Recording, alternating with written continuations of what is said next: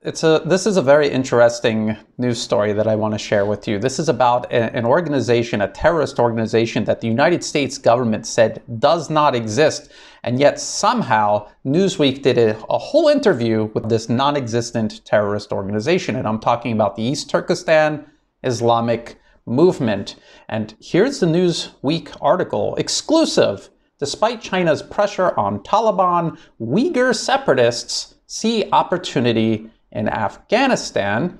And so let's read through this a little bit. Despite Chinese pressure on the Taliban to crack down on militant groups, the Uyghur separatist organization at the heart of Beijing's own war on terror sees a new opportunity in the U.S. withdrawal from Afghanistan to undermine the People's Republic. So this almost sounds like the, the US media. This is not Chinese state media, this is US media it almost sounds like they're admitting that China actually faced a real terrorist threat in its western Xinjiang region, which is what China said, which is what a lot of independent analysts uh, and, and, journalists all around the world have said.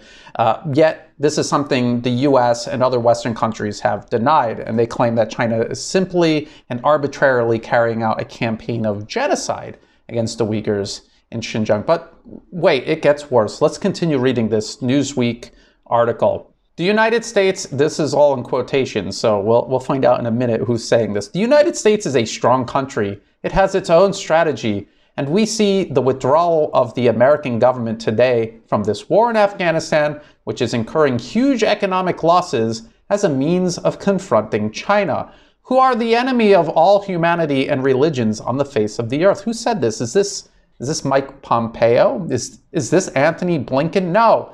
It's the spokesperson for the political office of the Turkestan Islamic Party, commonly known as the East Turkestan Islamic Movement. And this is what they said to Newsweek in an interview.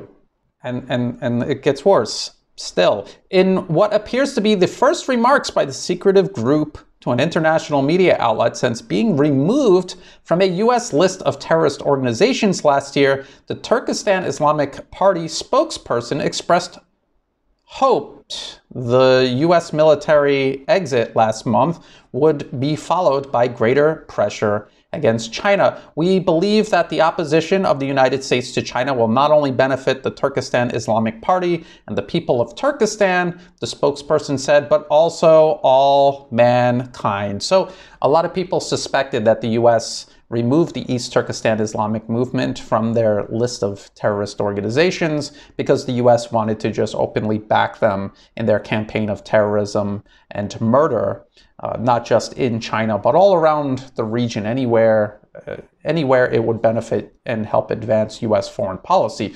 The U.S. has done this with numerous terrorist organizations for decades and decades.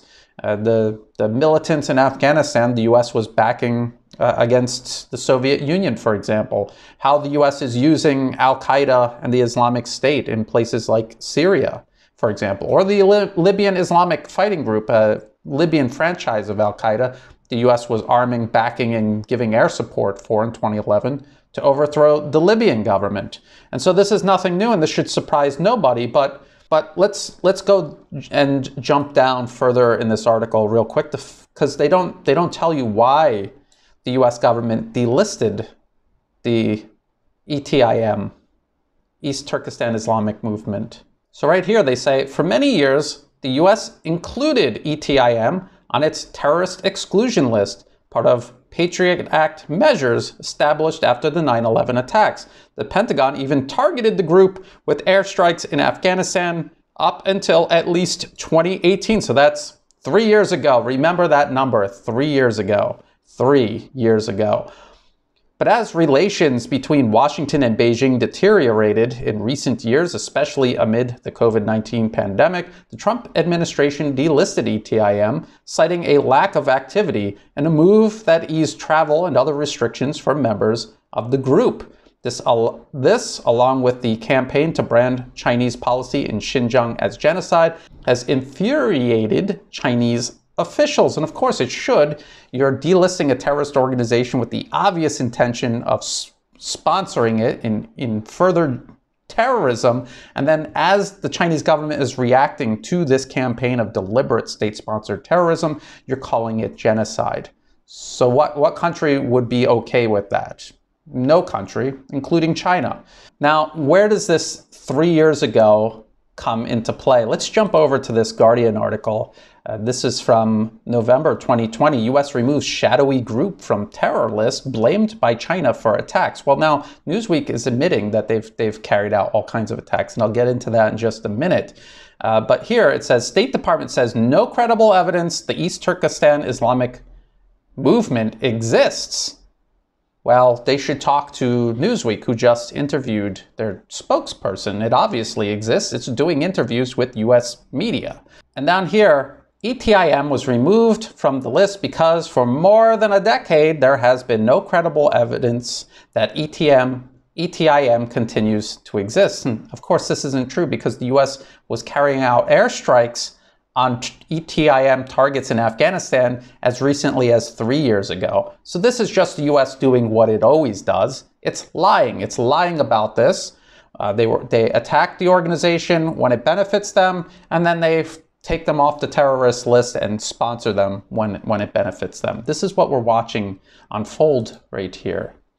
So back to the Newsweek article, they're going to explain about this campaign of terrorism that the ETIM had, had carried out. So here it says, uh, the insurgency began with a series of deadly attacks in the 1990s and violent incidents tied to the separatist cause continued up until 2017 in a bloody bid to weaken China's resolve in Xinjiang. Claimed alongside parts of western Gansu and Qinghai provinces by the group to form East Turkestan. East Turkestan is the land of the Uyghurs, the Turkestan Islamic Party spokesperson said. After the Chinese government occupied our homeland by force, they forced us to leave our homeland because of their oppression against us. The whole world knows that East Turkestan has always been the land of the Uyghurs. And, and if you're in doubt that the US supports the notion of East Turkestan, what these terrorists are killing people to try to carve off of China and establish, look no further than the US government's own National Endowment for Democracy website.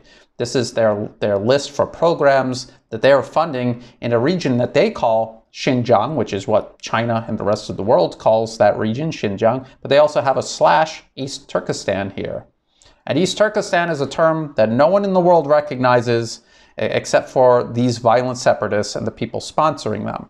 And if we look at these organizations on this list and we go to their website, we're going to see a very common theme. So let's look at the first one on the list, Uyghur Human Rights Project. Uh, besides, you know, counterfeiting the look of the UN to make it look extra official when it is just a Washington-based fake front funded by the US government to antagonize China. Besides that, this is what they say when they say, what is the Uyghur Human Rights Project?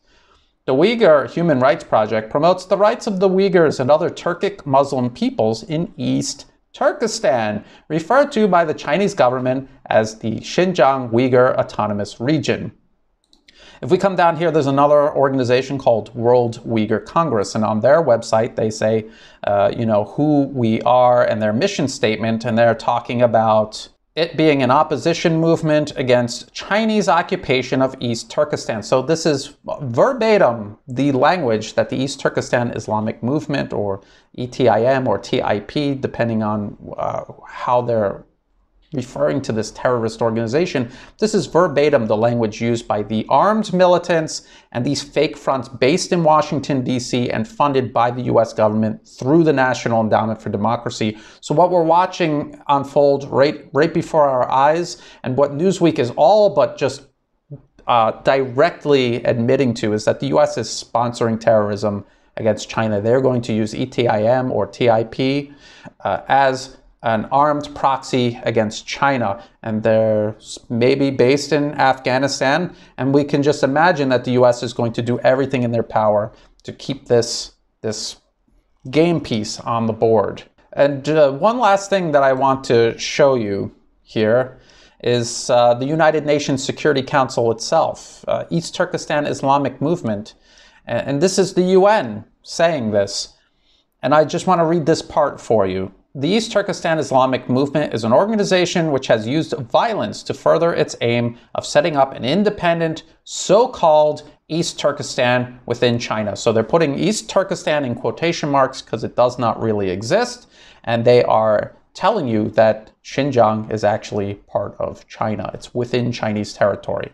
It is not an independent territory. It does not belong to these violent separatists. Newsweek even says right here, beyond China and the UN, an array of nations and international organizations, including the European Union, Kyrgyzstan, Kazakhstan, Malaysia, Pakistan, Russia, Turkey, the United Arab Emirates, and the United Kingdom consider ETIM to be a terrorist organization. And, and so really, uh, we see who's missing from this list? The US is missing from this list, and the US uh, is doing this very deliberately as part of its, its increasingly dangerous co conflict that it is engineering with China. So we have to be very careful. We have to keep a very close eye on this. It's, it's very obvious that the, the terrorism in Xinjiang was being sponsored by the US, backed by the US, and then when China responded to this terrorism, the US used that response as an opportunity to accuse Beijing of genocide when it was no such thing. No evidence of actual genocide has ever been produced. Even the people accusing Beijing of genocide have to put in fine print, oh, it's a, it's a cultural genocide. And it's not even that. And so this is the game Washington is playing. Please be aware of it. Uh, people promoting this narrative that China is carrying out genocide, that these are somehow freedom fighters and not terrorists just be on notice that these people are lying. This is to China what WMDs was to Iraq. It is a huge lie, and it's being used to steer the United States into war with China. The US and the Western world into war with China, and anyone else the US can coerce to join them. Be very careful about this. If you thought this video was useful, please like and share it. Think about subscribing. It helps the channel grow and it's free to do. I have a website, newatlas.report. All of my articles and videos are there. Uh, if YouTube ever takes down my channel, I will just host videos on another video sharing platform and embed them on the website. So it's a one stop where you can follow all of my work. I'm not really on any social media either. So if you want to follow my work, please bookmark and uh, check the website regularly. There is no paywall and there never will be. Check the video description for all of the links that I referenced in this video, as well as for ways you can help support my work. To people who have been supporting my work, whether it's through Patreon, supporting my work month to month, or one-time donations, or even if you're just liking and sharing my work, thank you so much. This would not be possible without that support. And as always, thank you for watching.